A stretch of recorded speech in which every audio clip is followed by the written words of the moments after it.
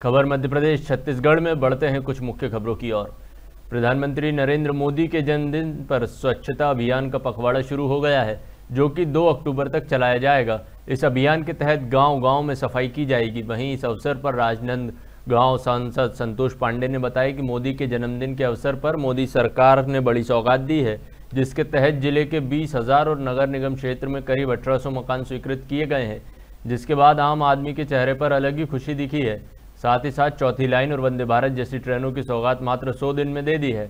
वहीं जिला कलेक्टर संजय अग्रवाल ने कहा कि ज़िले में ही कुल बीस हज़ार लोगों को मकान की सौगात मिली है और स्वच्छता अभियान भी गांधी जयंती के दिन तक चलाया जाएगा।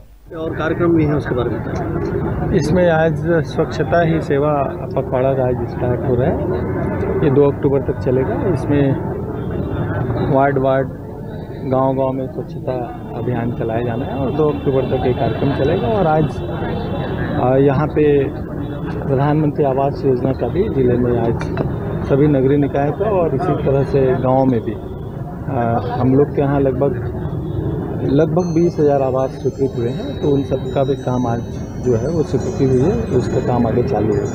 सर राजनांदगांव की परंपरागत झांकी है। है अठारह सौ सोलह है ना? अठारह सौ सोलह अपने यहाँ आज माननीय देश के प्रधानमंत्री, यशस्वी प्रधानमंत्री नरेंद्र मोदी जी के जन्मदिन के अवसर पर आज से लेकर के 2 अक्टूबर तक स्वच्छता पखवाड़ा और साथ ही साथ अनेक कार्यक्रम होंगे।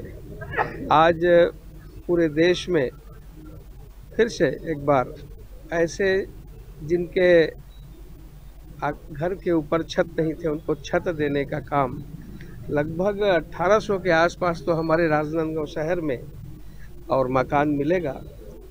ऐसे अनेक सौगात देश के प्रधानमंत्री जिन्हें हम सबको मात्र सौ दिन में दिया है। और चाहे वो रेल की तीसरी चौथी लाइन हो, वंदे भारत का अनेक सौगात